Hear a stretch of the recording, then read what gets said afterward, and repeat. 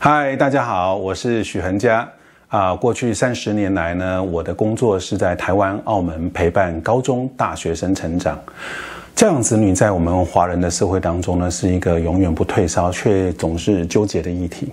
我们很容易呢，注意在起跑点上，每一个阶段呢，从婴儿期、幼儿、学前、低年级、中年级、高年级，一直到国高中、大学的时候，却有面对不完的叛逆跟冲突。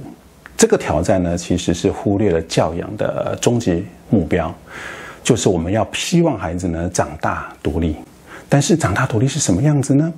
在子女还小的时候呢，这的确是很难想象。孩子不要走歪啊，要不要变坏啊？要学习表现很好啊，要很开心很快乐，听起来很美好，但又很空泛。我的工作呢，让我看到长大是有样子的。在我看到学到的东西呢，用在我自己三个子女的身上，而且在关键的时刻呢发挥作用。我们家老大呢是姐姐。她从小就成绩很好，但高二的时候呢，因为找不到读书的意义，于是呢休学了半年，去南屿打工换宿。回来复学之后呢，大学学测竟然考了满积分。老二呢是儿子，从小他他的思考方式呢就很特别。国三的时候呢就离家出走，过了三天，在一百多公里外的台北被找到。他习惯从行动当中学习。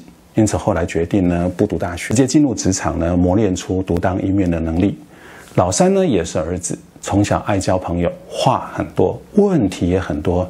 然后呢成绩不怎么样，但是他到了国二，他的成绩都突然变好起来，而且维持的那个学习动力呢一直到现在。我把他们的故事写出来之后呢，引起网友的讨论。你们呢怎么可以这样教小孩？你们是怎么做到的？三个孩子呢都有自己的样子，这很挑战呢。我想这也是你在面对自己孩子的问题吧。因此，在《放手不放养》这本书里面呢，我把这些方法整理出来。这套方法呢是去注意孩子心里的四种状态，就是 V、S、A、I。V 呢是愿景，就是子女在乎什么事；S 呢是策略，就是在乎的事为什么没发生；A 是方法。